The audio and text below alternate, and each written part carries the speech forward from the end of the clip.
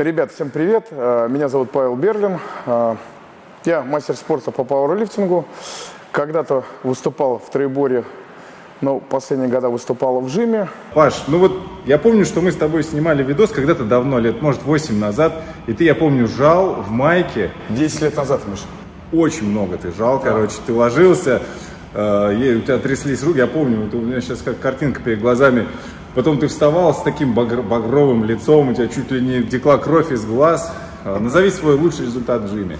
А, Официально пожал 317 на Питере. 317,5 килограмм в экипировке в однослойной. При весе, по-моему, 111 килограмм. То есть это для 120 категории был очень хороший результат для 2011 года. А без экипировки лучше? 250 в категории 100 килограмм. Но я неофициально жал, но видео есть, товарищи, причем не смонтированное, поэтому все хорошо. Вот. 250 жал при весе 103 килограмма. Но так как я все-таки готовился больше под экипировку, вообще вся, вся, вся моя спортивная карьера, это было ну, экипировочный дивизион, троеборье и жим. Но после того, как, Миш, мы с тобой отсняли а, жим экипировочный, а, произошли некоторые нюансы, после которых я 6 лет еще выступал без экипы и официально жал 232,5 килограмма. Ну, уже была травма, было протезирование. Я в течение пяти лет колол в сустав э, определенный препарат, вот. И это позволяло мне хоть как-то что-то поднимать. Но, в общем, одной руки по факту не было. Пять лет выступал, в Питере выигрывал, на России был третий. В общем, как-то все получалось и очень удивлялся. Я, в принципе, однорукий товарищ еще умудрялся выигрывать. То есть люди вообще не хотели, видимо, готовиться и выступать. Как-то так. Паш, ну смотри, чтобы ты был немного в курсе, я расскажу тебе, что я начал путь свой к двум сотням в жиме лежа. С чего это все началось? С того, что я просто вернулся в качалочку после всех кроссфитов и так далее, начал тренироваться, и у меня что-то как-то пошел жим, попер потихонечку, и мне начало это нравиться, я поставил себе цель жим 200. Первую попытку я совершил в 2008 году, но не дошел до 200, остановился на 190. Вот, и сейчас решил к этому вернуться. И вот э, решил к тебе прийти в гости, чтобы ты, как старший товарищ, опытный, э, дал мне несколько советов. И первый вопрос, э, ну, существует ли в твоем понимании идеальный жимовик? То есть это рост, вес, играет ли значение длина рычагов и прочее. Вот мне все говорят, что я э, не пожму, потому что я высокий, там эктомезоморф, там не созданный для тяжелых килограммов и так далее. Мне бы было проще сказать, Мишань, что ты не пожмешь, но я не имею права это сказать. Вообще любой человек в этой жизни, мужского пола и иногда женского, может пожать 200. И это только дело времени. Конечно, пропорции играют огромную роль, потому что если были бы короткие руки, грудная клетка какая-нибудь огромная, широкая, короткие ноги, чтобы с плинтов еще ножки стояли, то, конечно, амплитуда была бы короткая, широкий хват, и жать можно не 200, а 300, мне кажется. Но главное, чтобы ничего не оторвало. Если честно, э, пропорции играют огромную роль. В твоем случае, э, если ты пожмешь 200 в жиме лежа, ты эти 200 пожмешь стоя. Потому что мяса надо будет класть очень много.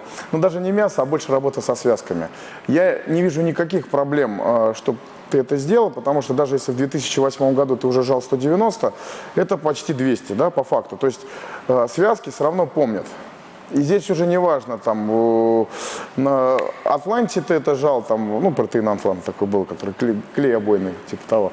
Вот, неважно. Здесь задача такая, найти нам с тобой правильный тренировочный не план, а процесс, в котором ты будешь просто восстанавливаться. Потому что, в принципе, форсануть можно и за короткие сроки можно попробовать это сделать, но главное не порваться. И здесь очень важная главная составляющая будет углы, которые мы будем с тобой выставлять. Потому что мастить мы не будем, это 100%, даже при таких руках. Но надо смотреть, что у нас лучше развито. Плечи, грудь, трицепс и спина. Потому что если у нас будет хороший отзыв работы плечей и трицепса, тогда хват мы будем с тобой ставить определенно средний. Если все более печально, то будем тогда стараться все делать это грудными мышцами, но здесь уже момент такой травмоопасности. Но проблемы, чтобы ты пожал 200, нету. По времени э, я не могу сказать, если даже наше правительство ничего не может нам сказать по телевизору, то уж я-то что. А, Один очень важный момент э, для большинства, кто приходит и хочет на сухарях пожать 200, это время и терпение. Потому что на самом деле есть э, моменты такие, вот сейчас скажу, сформулирую правильно. А, Главное желание, да, если у тебя есть желание, то это можно сделать. Но а, люди все разные, генетика разная, пропорции разные. И бывают такие моменты, что люди не жмут 200 на сухарях при определенном времени подготовки, упираются, у них становится плата, они ничего не могут изменить и сделать, даже с добавочными какими-то измененными программами, углами и, всем и, и тому подобное. То бывает очень часто, что люди на допинге проходят этот результат высоко, и уже чистя, чистясь, они возвращаются, и уже даже после долгого уже перерыва витаминного они могут пожать эти 200. Разница только, наверное, в том, что 200 это просто проходной вес для них на фарме, чтобы они вышли гораздо выше по весу, отработав, там, ну, не знаю, ну, 220-230 ты будешь жать, например, на, на витаминах, то 200 уж ты точно под контроль, вычистившись, отработав, наверное, годик хорошей работы, ты 200 уже оставишь у себя точно. То есть момент такой, он очень, очень хитрый. То есть есть люди, которые пришли молодые, и они еще не, не загубили свой организм и хватает здоровья, они процентов 80, что они 200 пожмут на сухарях с правильным тренировочным процессом, восстановлением и времени. Вот. Но есть момент людям, которым просто не то, что не дано, ну, с, с определенными нюансами. Все-таки генетика вещь очень серьезная, вещь тоже серьезная. Так вот, для таких людей есть обходной путь, так называемый. По собственному, я ни в коем случае ничего не скрываю, по собственному я жал 250, а, там при весе 103-104 килограмма, подводились, и 225 у меня оставалось под контролем. То есть, как бы, понятно, но ну, у меня работа всегда была, всегда была работа почти разовая. И то, что я смог там примерно 17-18 лет в профессиональном спорте, это говорит о том, что все-таки э, а, э, а, не то, что схема, это все работает. Понятно, что это работает, и что с этим можно тренироваться, тренироваться, тренироваться, не бояться. Потому что очень часто есть ошибки у людей, все уходят хотят по силовому показать огромный результат, но все равно при подготовке к силовому результату на постоянке сидят на качковских больше схемах. То есть как бы веса приличные, объемы, объемы, подкачка нет. Вот нам нужно вот одно четкое движение, закрытыми глазами положил, пожал, все, все включил. Главное, это, конечно, тренировочный процесс. Это вот прям надо садиться, смотреть, давать какие-то 2-3 недели нагрузок, смотреть, как организм воспринимает эти нагрузки, и с этим уже дальше выстраивать максимально правильный процесс в течение, там, я не знаю, года. Потому что только пахота в зале является главным составляющим. Ну, научишься работать по силовому, не бояться работать со связками. Прогресс будет очень хороший, но здесь есть такая грань рискованная, что можно травмироваться. Вот поэтому э, какой-то определенный отрезок времени нужно понять, что человек из себя представляет, не просто как он красиво выглядит, как он нормально воспринимает тяжелую нагрузку связки. Второе составляющее обязательно после тренировочного процесса а, у нас это должно быть, это питание обязательно. Ну, лучше всего, конечно, просто хорошо питаться, много на постоянке и максимально качественно, чтобы не набирать э, мега лишника. Ну, в принципе, я могу сказать одно. Со мной могут, наверное, народ поспорить, но пускай лучше чуть-чуть водички в мышцах и лишничка будет. Больше вероятность, что не порвемся. Вот. А питание обязательно после программы, грамотно выстроенной. Это второй у нас. И уже спортивное питание после обычного. Есть очень хорошие добавки, на себе были проверены, под контроль, такие как экдостерон, трибулус, э, ну, протеин, э, креатинчик можно. Эти вещи играют огромнейшую роль. То есть если на них не то, что сидеть там ведрами, но правильно, то за короткий период времени они дадут очень хороший результат, как фармакология. Это так. Ну, правда, здесь, конечно, надо искать выбора очень много, и на самом деле все это очень красивые картинки на баночках и все остальное. Надо искать проверенные вещи, а их все, все меньше и меньше у нас в стране. Я думаю, что мы не будем сейчас прям подробно тренировочный план как-то прикидывать. Да я думаю, что это все-таки ну, не для сегодняшней, может быть, встречи.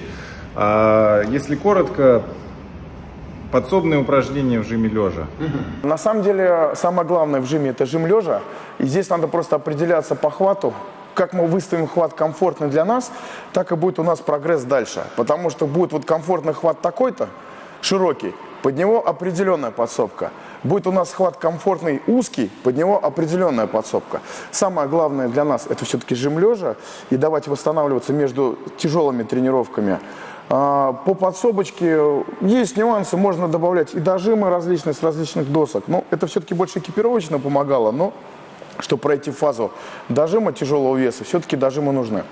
Вот. Э, работа с плечами, с передней дельтой обязательно. Работа с трицепсом вообще не оговаривается. То есть ее надо делать очень жесткую и тяжелую, но не на постоянке. То есть работа должна быть работа с трицепсом раз в две недели. Не надо каждую неделю долбить до позеленения, потому что он у нас играет огромную роль в дожиме. Вот. Э, спина, да, в принципе, грудь, плечи, трицепс, спина. Спина играет огромную роль, если хорошо мастим. А, плечи, если средний хват жмем. Трицепс, он в любом раскладе мы дожимаем.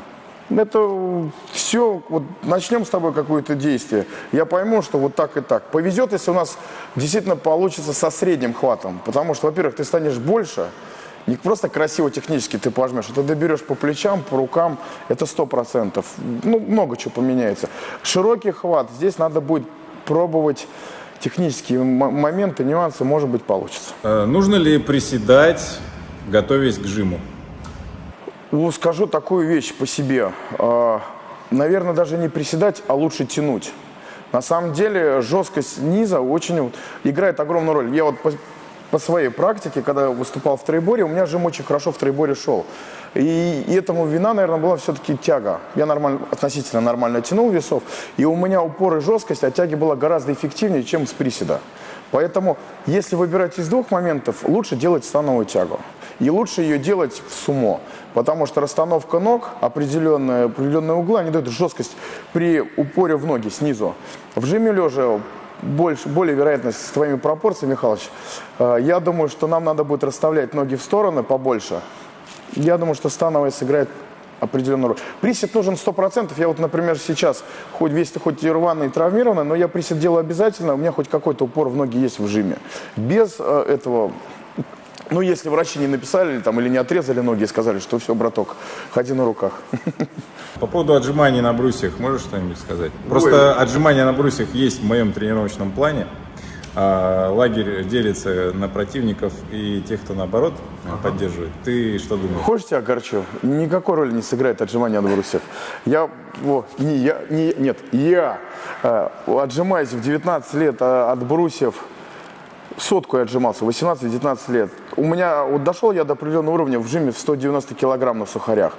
Вот я отжимался 100, там плюс-минус, она не играла в роли уже в дожиме никаком. То есть уже больше вероятность была получить травму плечей и тому подобное. А вес ниже, он уже не пробивал так руки.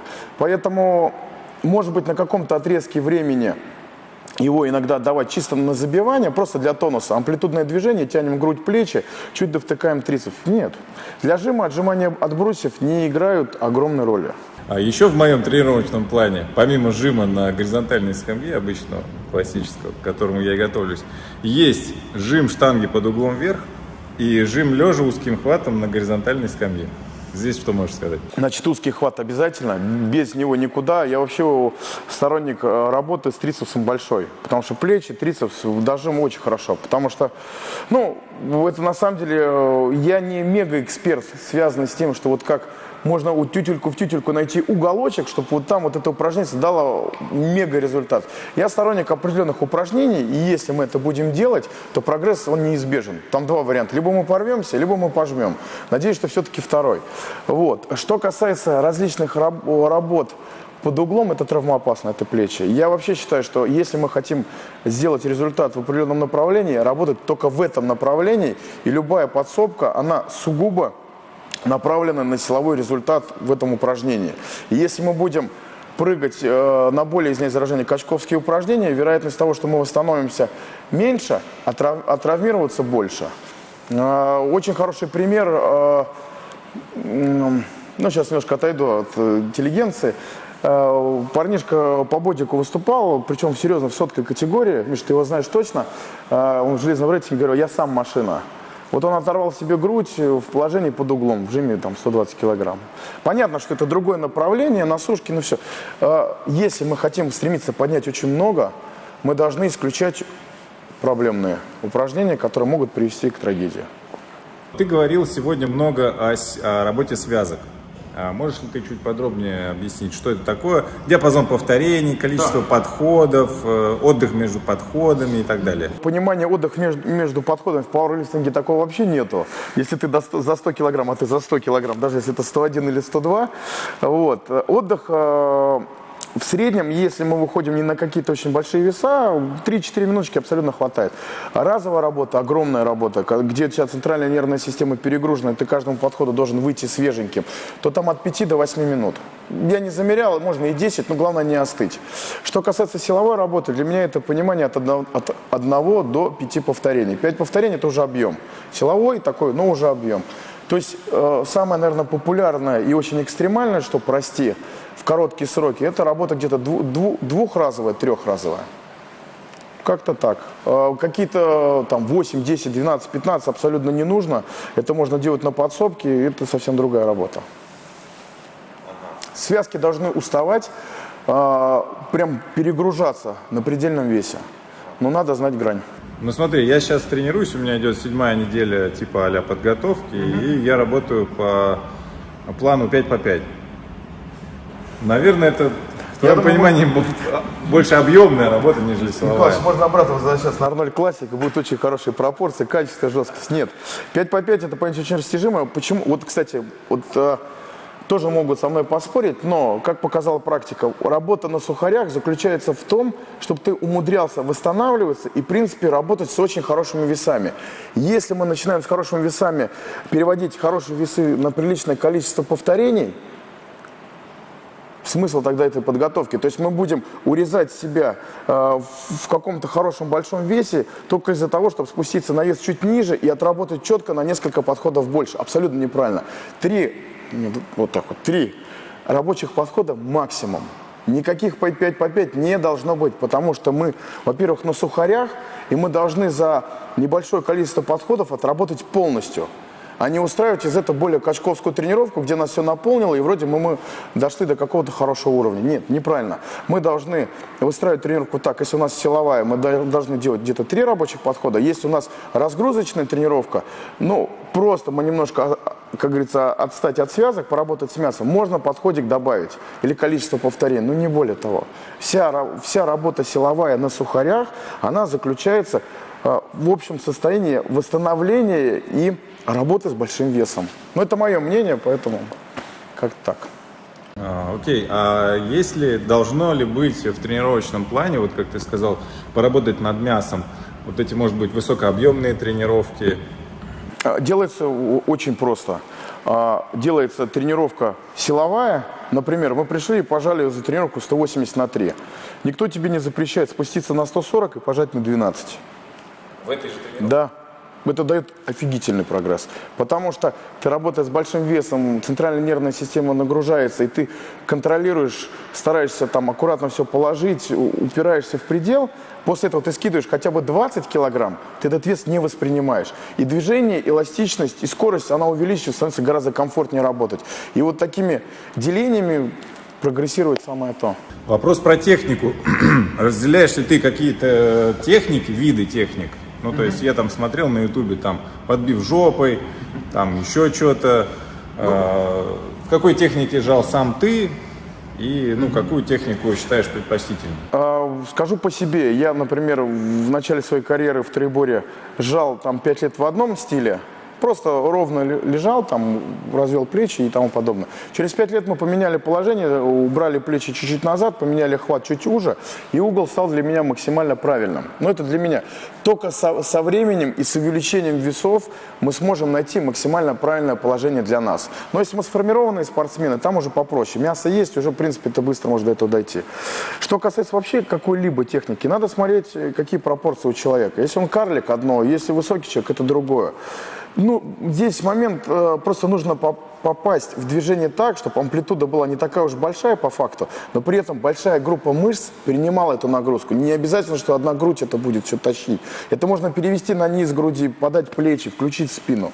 А техника важная вещь, и подразделение в ней есть. Там узкий, широкий хват и тому подобное. Для меня неприемлемо, ну, может быть, э, какая-то работа в отбив, какое-то инерционное, инерционное движение, потому что я считаю, что движение должно быть э, контролируемое максимально. То есть мы не очень быстро опускаем и не очень медленно, и уверенно жмем, потому что подать все мышцы, почувствовать, что у нас все хорошо, встретить и всеми группами, которые отвечают за это движение, пожать.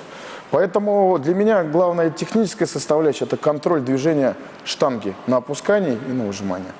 Смотри, сейчас э, я проходку не делал давно. Последний раз я вот делал проходку 3 апреля. Это было соревнование. Я пожал 162,5 килограмм, ну детский вес, смешно, ха-ха-ха. Вот, начал э, готовиться дальше. Седьмая неделя. Контрольная точка запланирована на 27 июля. Соответственно, еще там 4 недели, даже 5. И там я планирую 75, может быть, бахнуть. Потому что я чувствую, что меня хорошо прет. Пошло, пошло, пошло. То есть ты раскрылся на соревнованиях и уже понимаешь, как, в принципе, тебе под- подходить, выходить. Да, вот тот план, который я себе написал, он мне более-менее подходит, но все равно чуть-чуть я переборщил с нагрузками и некоторые тренировки просто выкидываю, чтобы восстановиться лучше. Я думаю, что вот после этого, этого этих соревнований 27 июня, я думаю, что зафиксируем результат какой-то, и дальше уже начнется настоящая подготовка к двум Да, сотням. давай, давай, да. И я предлагаю тебе как-то вот ну, после 27-го совместно уже Давай, а, начать без работать. проблем. А, Ты посмотришь, какая у меня техника, а, подробно тебе расскажу о том, какой план у меня был тренировок. Мы что-то вместе подкорректируем, Не- естественно. Извиняюсь, не у тебя план, а у меня план, Михалыч. 175 пожми, а потом будет план у меня. Все остальное уже сделаю я, чтобы понимать. Хорошо, конечно, без вопросов. Вот, э, потому что сейчас, ну, наверное, не стоит как-то вот что-то там ломать и Да начинать нет, заново. а вот, про- вот сразу видно, что человек занимается спортом много лет. Никогда нельзя вылезать на пике формы определенно или к выходу в соревнования что-то свое новое добавлять или менять. Можно просто тупо порваться. Но сразу предупреждаю, что от выступавшей ста, Мишань, э, будет ну, ну, посмотрим, что ты делал, какие объемы работы ты делал, сколько тренировок на неделю у тебя было, потому что э, более вероятно, я вот процентов 80 верю, что я буду рубить тебе почти весь тренировочный процесс, и мы перейдем больше на, ну, не то что мега экстремально, но на такую тяжелую работу. Не в плане, а головой. Ты должен будешь понимать, что там каждые 4, дни- через каждые 4 дня у тебя будут определенные жимовые тренировки, начнутся уже веса гораздо больше, и на них больше сидеть будем, это уже будет не такой, высчитал я там процентовочку, здесь я посчитал, что 62 сделать, значит, три недельки пройдет, я схожу там 50 сделаю на 4, там сделать, такого не будет. Будет абсолютно другая работа, я только за. Самое главное нам с тобой э, понимать после тех соревнований, насколько ты будешь еще свеж, чтобы нам восстановиться, здесь очень важно. То есть на сухарях есть такой момент, что ты можешь очень красиво и приличное время отколбасить, а потом себя очень сильно измучив этом, откат и травмы могут посыпаться очень быстро, еще хуже, чем на фармакологии. Потому что ты, в принципе, все ресурсы своего организма максимально вытаскиваешь. А так, без вопросов, все сделано в лучшей форме. Я думаю, что если месяц, посмотрим, сколько ты пожмешь, я считаю, что ну, реально, если нормальное питание спортивное, хорошее питание и слушать все, что мы делаем, хотя бы два цикла, три сделать раздельных, я думаю, месяца за 7-8 у нас получится к этой... Ну, я думаю, если трен- тренер будет жив и, в общем-то, кто-то опять в бодибилдинг не уйдет. Э, Ну что, ребят, спасибо вам огромное, что вы смотрели это видео до конца. Я надеюсь, оно было вам полезным. Паш, спасибо тебе огромное за ценные Сонечка. советы ценную информацию. Твой опыт многолетний, это просто ну, очень э, Спасибо, дорогой. и важно. И я надеюсь, что мы с июля месяца с Пашей начнем вместе работать над достижением результатов. Поставленные цели же ближе 200 Да все, да все сделаем, Михаил, все сделаем. Ты ко мне не пришел ни метра двадцать брюнетом, понимаешь, с жимом гриф, с криком на два с половиной раза, а уже полноценный спортсмен. Для меня это в кайф. Е- просто я, же, я же понимаю, что чем дальше, тем сложнее. Невозможно же всегда прогрессировать с одинаковой скоростью. Абсол- абсолютно. И здесь момент такой. а, у нас у каждого есть свой запас и свой потенциал. У каждого он свой. И здесь надо понять, что не переборщить, найти свой, свой какой-то режим работы в этом направлении и ждать дойти можно. Нам пока не... Хотя нет, мы уже выглядим не очень молодо. На самом деле все получится. Смотрите, ребята, если что, вдруг оборвутся съемки, значит, значит я хреновый тренер, и что-то пошло не так. 35 будет через три Ну, недельки. ладно, я чуть старше тебя. Как- Не, ну в зеркало. Нет, я-то, конечно, выгляжу старше. Спасибо, дорогой. Да, 35. Плюс 12. Да, так что вот так. Все, Ну что, нормально вроде. Кайф вообще.